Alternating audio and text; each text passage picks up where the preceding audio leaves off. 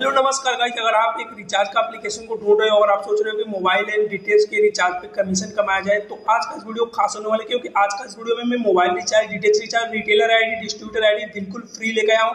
कौन सा एप्लीकेशन है, कैसे काम करता है तो इस वीडियो में अब तक बनेगा चैनल को सब्सक्राइब कीजिएगा आज का एप्लीकेशन का नाम है रिचार्ज जो कि आपको प्ले स्टोर पर हाल ही फ़िलहाल में नहीं मिलेगी।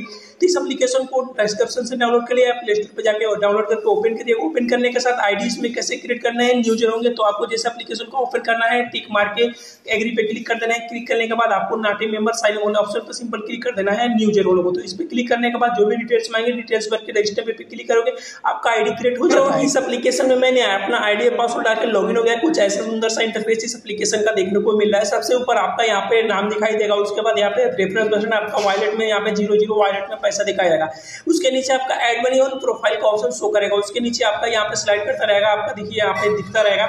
उसके नीचे recharge money transfer bill payment पे आपकी सारी सर्विसेज़ मिल जाएगी। Mobile DTH postpaid Google Play तो इतने सारे सर्विस मिल जाते हैं। उसके नीचे आपको मोर पे क्लिक करके आपको यहाँ पे सर्विस मिल जाएगी। जैसे डेली रिपोर्ट में डेली जितना रिचार्ज करेंगे वो मिल जाता है। उसके बाद आपका कमीशन पे क्लिक करके यहाँ पे कमीशन देख सकते हो। कमीशन तो यहाँ पे फ्लैट कमीशन है, जो कि साढ़े तीन से साढ़े चार परसेंट का कमीशन मिल जाता है।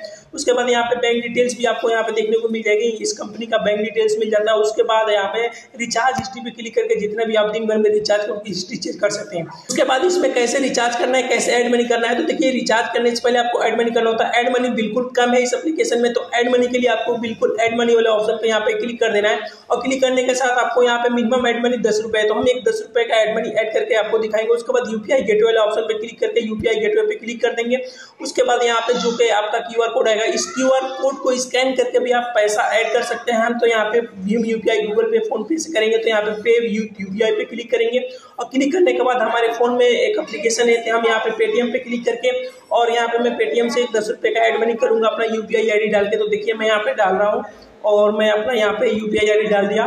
उसके बाद देखिए हमारा दस रुपये यहाँ पे पेड हो जाएगा और हमारे वॉलेट में दस रुपये ऐड हो जाएँगे, जैसा कि आप देख रहे हो कि पेड सक्सेसफुली ठीक है दोस्तों? तो ऐसे आप अपने वॉलेट में पैसा ऐड कर लीजिएगा ऑटोमेटिक ये बैग चला जाएगा, देखते हैं। तो देखिए हमारे दस रुपये ट्रांजेक्शन सक्सेसफुली और हम बैग चल के देखते हैं। तो हमारे देखिए रिफ्रेश किया यहाँ पे। तो जैसा कि आप देख रहे हो कि हमारे वॉलेट में दस रुपए यहाँ पे शो कर रहे हैं। अब यहाँ पे मैं रिचार्ज करने के लिए एलिजिबल होगा तो आपको अगर मोबाइल का रिचार्ज करना है प्रीपेड वाले ऑप्शन पे यहाँ पे क्लिक कर देना है। और मैं क्लिक करके आपको यहाँ पे दस रुपए का रिचार्ज करके भी दिखाऊँगा। तो यहाँ पे मेरे एयरटेल का सिम एयरटेल के ऑप्शन पे मैं क्लिक करूँगा। यहाँ पे अपना मोबाइल नंबर डाल देता हूँ फटाफट।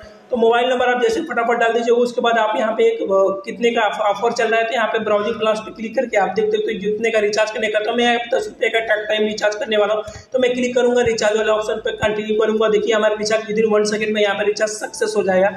तो देख रहे हैं कि हमारा रिचार्ज हैज़ बीन सक्सेस यहाँ पे देख रहे हो कि यहाँ पे दस रुपये की रिचार्ज में तीन सौ पचास पैसे मिले, यानी ये चार परसेंट का कमीशन आपको दे दे रहा है और हमारा रिचार्ज भी यहाँ पे सक्सेस हो गया। उसके बाद अगर आप डीटीएच का रिचार्ज करें डीटीएच वाले ऑप्शन पर क्लिक करके डीटीएच का रिचार्ज कर लेना है, आप को सेलेक्ट करके अपना डीटीएच का रिचार्ज कर लो इस एप्लीकेशन में अगर कोई भी परेशानी होती है दोस्तों तो सबसे पहले आपको यहाँ पे क्या करना है, यहाँ पे मोर वाले ऑप्शन पर सिंपल क्लिक करना है। क्लिक करने के बाद आपको यहाँ पे कॉन्टैक्ट वाले ऑप्शन पर जाना है और यहाँ पे कंपनी का पूरी डिटेल्स आपको मिल जाएगी ईमेल आईडी मोबाइल नंबर जिससे कॉन्टैक्ट करके कोई भी परेशानी हो, उनको चैट कर सकते हो।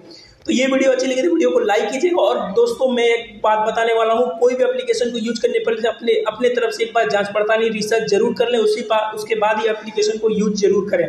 वीडियो अच्छी लगी तो वीडियो को लाइक कीजिएगा, चैनल पर चैनल को सब्सक्राइब कीजिएगा, धन्यवाद।